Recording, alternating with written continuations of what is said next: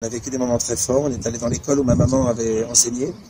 Euh, là, nous avons rencontré euh, les enfants. Nous sommes allés dans, sa salle de classe.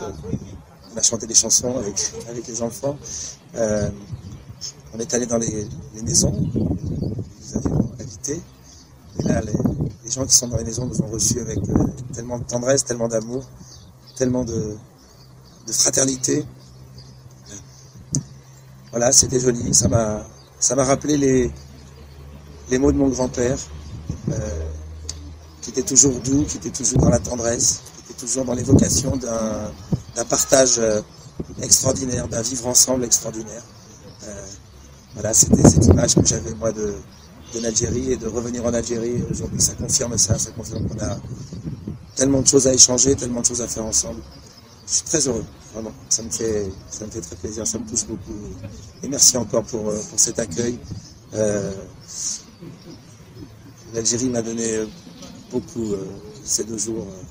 et surtout en, donnant à ma maman un très joli sourire.